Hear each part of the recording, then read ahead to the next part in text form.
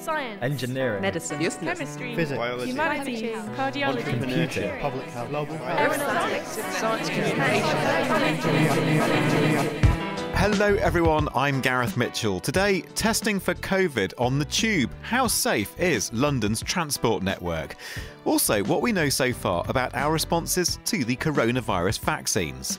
People who've never seen any virus before all make a good response and have antibodies now that neutralize the virus. And then people who've seen the virus before and start off with a little bit of antibody, when they get their single dose of Pfizer vaccine, they have a huge boost, which is exactly what we'd expect from immunology textbooks, but it's incredibly reassuring to see. And we hear about the late event in Valentine's Week that focused on affairs of the heart.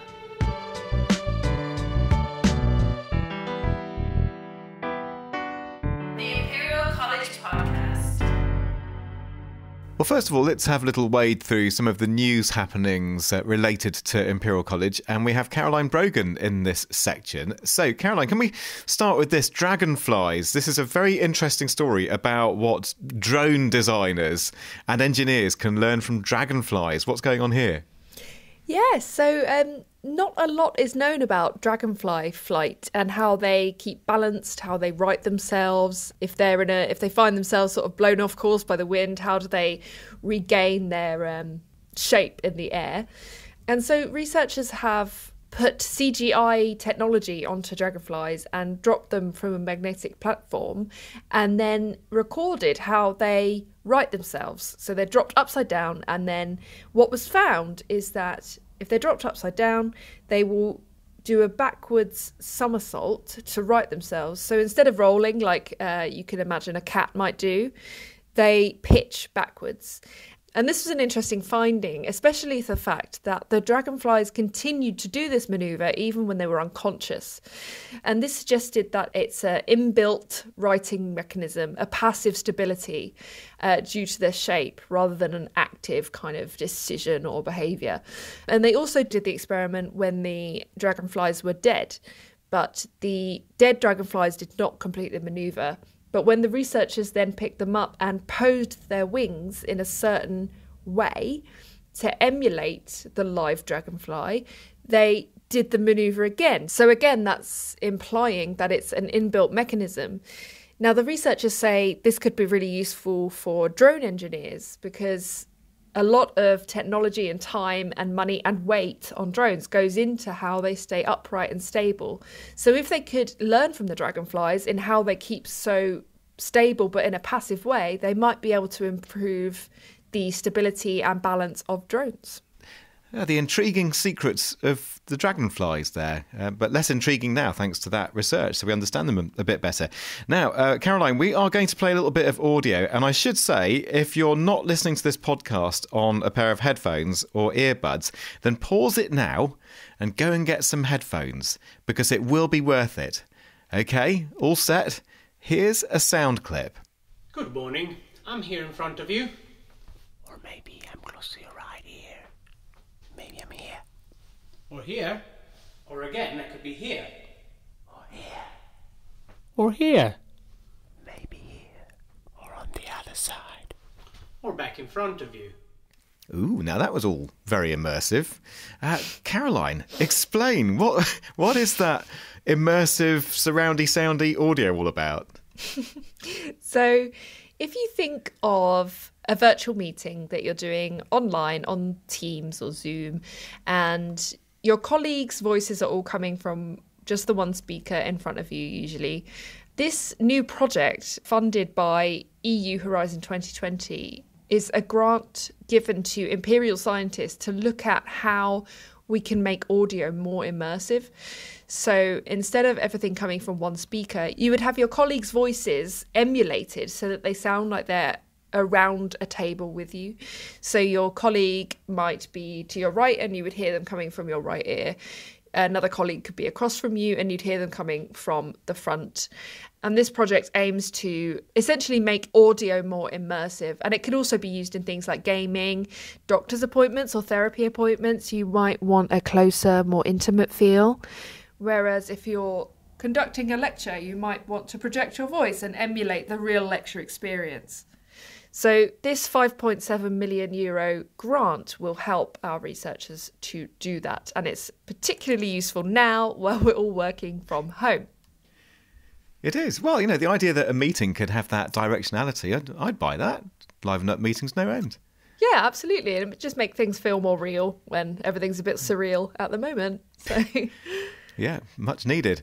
And finally, um, speaking of surreal or certainly outlandish, otherworldly, whatever you want to call it, Mars Perseverance, the rover, uh, as this podcast goes out, in fact, this week is landing, isn't it? So there's an Imperial involvement there. Tomorrow, Gareth. It's landing tomorrow Yes. on Mars. Um, Yep. this is So a this podcast comes out on the Wednesday, so it's, yeah, it's due for touchdown on Thursday, isn't it? Exactly. Um, so this is very exciting. So this is a rover called Perseverance, built by NASA, that involves several uh, Imperial scientists, notably Sanjeev Gupta and Mark Sephton in the Department of Earth Science and Engineering. And what the rover will do is look for signs of microbial life on Mars. It'll land in a crater called the Jezero crater, which is a 28 mile wide depression that contains sediments of an ancient river. So the scientists think that if microbial life or fossils of microbial life were to be found, it would be found in an old river because that's obviously where water was. So the rover itself will gather samples from Martian rocks and soil using its drill. And then it will store the sample cores in tubes on the Martian surface, ready for a return rover to bring 30 samples back to Earth in 2030. And you mentioned there that Imperial involvement. So what does that entail exactly? So Sanjeev Gupta um, is one of the long-term planners for the mission, and he will work on, you know, strategic aims, make sure all the mission objectives are met, and he will also be working day to day with the engineers to search for samples of rocks for the return to Earth.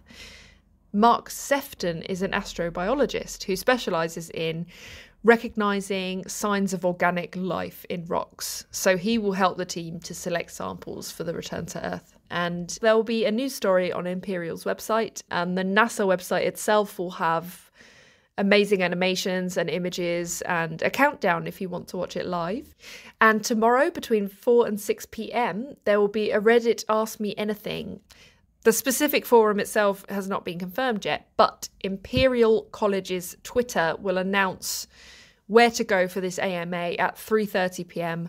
on Thursday. So do check out at Imperial College on Twitter to find out more. Will do, Caroline. So that's this Thursday, the 18th of February, or tomorrow, if you're listening to this podcast on the day that we release it. Gosh, you are quick off the mark, aren't you? Exciting times. Great. Caroline Brogan, thank you very much indeed for that. Now, for those who are still travelling around the capital at the moment, how safe is the underground and bus network? Imperial researchers are working with Transport for London to test for the virus.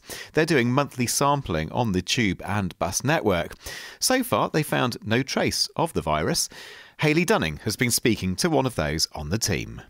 I'm with Dr. David Green, who has been conducting some testing into coronavirus on surfaces, both at Imperial to ensure cleaning is going well, but also with TFL. Walk me through your testing procedure on the London Transport Network. What do you test and where?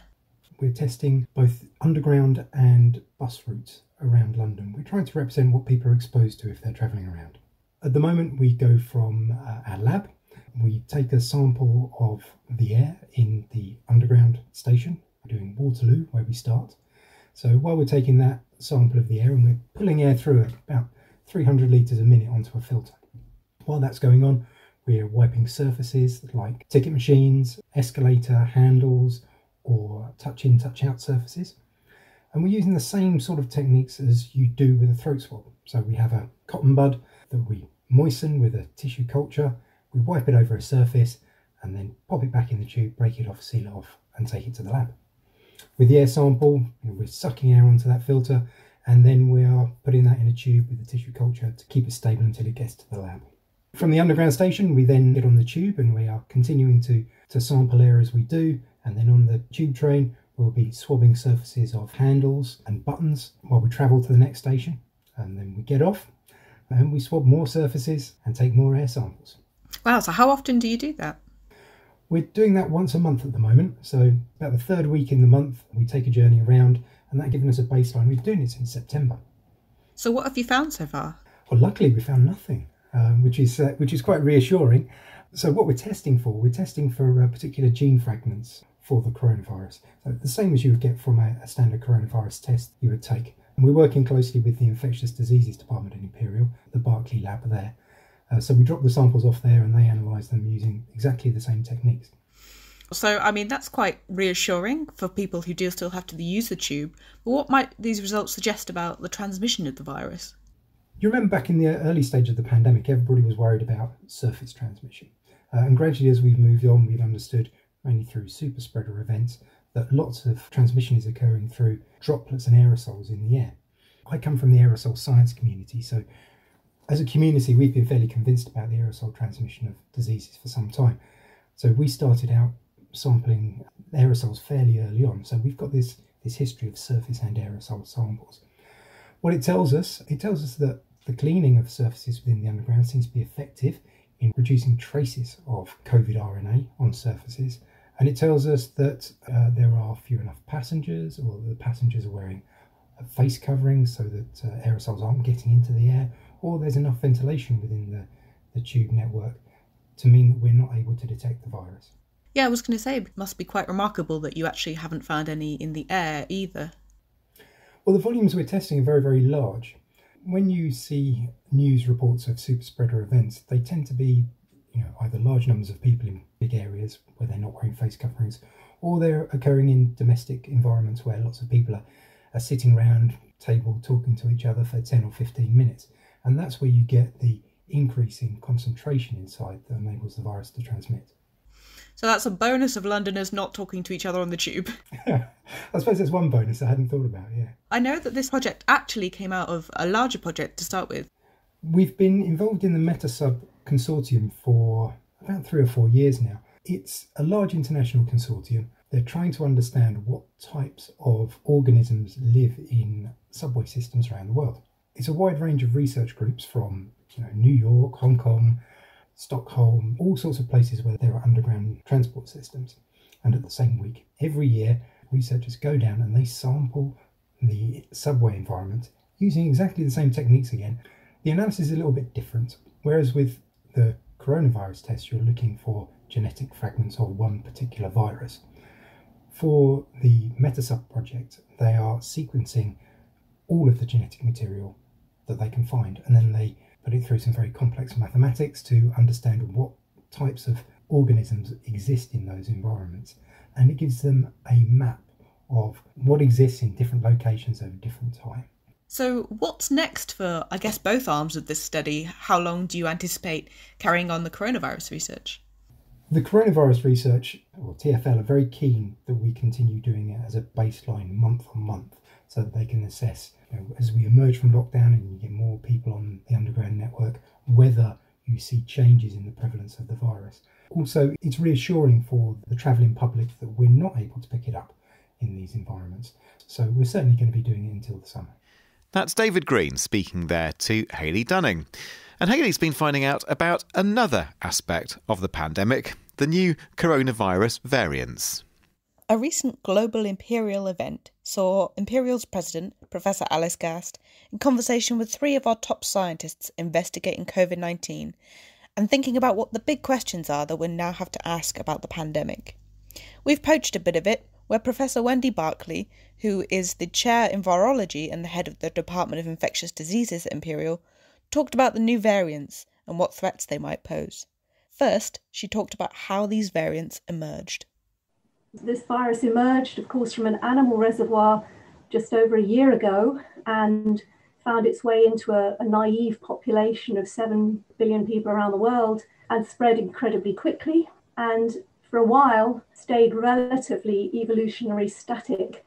But now we can see that the virus is mutating we can see the virus is mutating because the world, and in particular the UK, are sequencing this virus in an unprecedented manner. There are hundreds of thousands of genome sequences of viruses collected from all around the world on the database. Around 40% of those are actually from the UK. The UK has a consortium known as COG UK, which are sequencing on, on average about 5 to 10% of our viruses. So the virus is definitely mutating. But is that in a way we need to worry about? So, the most obvious point to worry about at the moment is we're relying really on vaccines as a way out of this. And if the virus mutates in a way that the vaccines are no longer a good match for the circulating viruses, because the vaccines are all based on sequences of viruses that were isolated more than a year ago now, then we may reach a point where the current vaccines as they stand work less effectively than we'd like them to. But there are other changes that may happen as the virus mutates as well. The, the transmissibility of the virus might change, the disease it causes, the severity, the, the case fatality rate, for example, and also other treatment options such as drugs, particularly antiviral drugs, if we use them. There's a whole new era of monoclonal antibody therapies which are being given to people, and these are particularly susceptible to mutations. And then another thing we need to worry about is whether or not the virus, which crossed over from one animal species into humans and clearly can spread well between us, might it spread back into other animals and cause problems perhaps for our domesticated farm animals, which could affect food supplies as, as well as causing health problems? What have we seen so far with these variants? Professor Barclay talked about a mutation in Danish mink that was a concern as farm workers seemed to be catching it. However, that mutation actually made it easier to infect mink and less so humans, so it sort of faded away. However, other more worrying variants have emerged.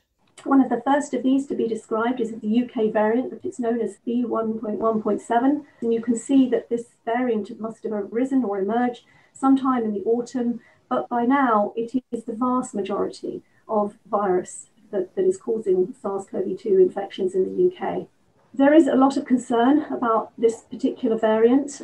It's a curious virus. There are a lot of mutations in it, and it isn't completely clear where they all came from. They appeared almost all at once. There are 22 different coding mutations across the genome of the virus, and there is some feeling that maybe the acquisition of so many mutations at once mean that this virus emerged during a long-term infection in a single individual who was probably immunocompromised and didn't manage to clear the virus in the first place. Some of these mutations increase the ability of the virus to bind to that important receptor and therefore almost certainly make it easier for the virus to enter cells when it finds itself in our noses and throats. And that's almost certainly why it's spreading better from person to person, about one and a half times better than the previous versions. And this is increasing the ability of the virus to infect a wider group of people. For example, children and younger adults are more susceptible to this virus than the first one that emerged and may result in an increased death rate as well, which is something which is under intense investigation at the moment. Luckily, there's a very, very small effect on antibody recognition, and this is unlikely to affect the ability of the vaccines that we're currently using to protect us against this variant. The UK, of course, isn't the only country to produce a worrying variant, as Professor Barclay explained. South Africa was very badly hit in the first wave, and it seems that that may have promoted, if you like, the spread of a particular variant, which is now spreading and predominating rather like the UK. In South Africa, this particular yellow virus is now by far the predominant virus. And in, in, addition, we have a Brazilian variant which appears to have emerged in places like Manaus Again, Manaus is a, a city in Brazil which experienced a very intense first wave, almost reaching herd immunity in the first wave. And so there was a selection pressure, perhaps, to select for variants of the virus which could overcome at least some level of naturally acquired immunity. So these three variants causing us some concern. We're trying to unravel which of these mutations that are scattered across the genome of the virus are really causing these changes and there's a remarkable, though some of these numbers are common between the different variants, even though they've originated completely independently in different parts of the world. And that's the virus telling us that these combinations of these different changes, when they come together, are giving the virus a remarkable ability to be a, a more efficient human pathogen than it was when it first emerged from animals. So, what hope is there? Can vaccines still help us overcome the pandemic? Luckily, Professor Barclay ended on some good news with some data about responses to the vaccine and where research is headed next. People who've never seen any virus before all make a good response and have antibodies now that neutralize the virus. And then people who've seen the virus before and start off with a little bit of antibody, when they get their single dose of Pfizer vaccine, they have a huge boost which is exactly what we'd expect from immunology textbooks, but it's incredibly reassuring to see. Now, these tests here are done with the old virus. So, this is telling us that the vaccine will protect against the virus that the vaccine was made to protect against, but that we're now growing the variant virus in our labs. And what we'll be doing next is testing whether these vaccines sera protect against the new variants. Professor Wendy Barclay. Well, finally, as Valentine's Day approached last week, affairs of the heart were on the agenda at our most recent late event. One of those taking part was trainee cardiologist Dr. Ananta Ramakrishnan, who's a clinical research fellow at Imperial, and she was part of a Valentine's card making workshop and also talking about her research. And she's talking to us now. So, what did happen at the workshop? Oh, it was great fun actually. We had made by Micah. So Micah from Made by Micah, who's a pyrographer and an illustrator, talked us through making Valentine's cards and in particular gave some ideas for where to start and how to think about different parts of the heart and how to illustrate them and make them colourful. We also had Dan Simpson, who's the poet in residence at Imperial, he was great. His his use of words, he shared his poetry with us, and then he talked us through some poetry writing. Love writing poetry. So, and we had a really good discussion between the three of us about, you know, we just it was great to just spark off each other and get ideas and learn a bit more about what the rest of us in the group were doing. But you did get a chance to talk about your research as well, didn't you? yes, that was really interesting for me, and I and I, I, gather it was interesting for some of the people that were watching in as well. Uh, and it sparked off a few questions too. Having to communicate your work for different people. For example, if you're writing a grant application or if you're writing a report or a paper, the different styles you need each time makes you think about your research in a very different way. And so then when you're trying to describe it in a way that makes sense to someone who may be completely new to it, they might have a science background, but they might not. Again, makes you think about it in a different way altogether as well. So it makes you, it helps you sort of break it down and kind of remember where it's situated. I mean, just in a few words, then, what is your research? You probably had to sum it up in two or three sentences. So, how would you do that? So it's understanding the blood flow through the heart, but also through the main arteries, and how we can understand that flow in terms of, well, classically we think about blood pressure, but we might think about breaking down the way that blood flows in terms of waves, waves that get reflected back at different parts as it travels down, and trying to correlate that with clinical disease and also a long term risk of getting cardiovascular disease.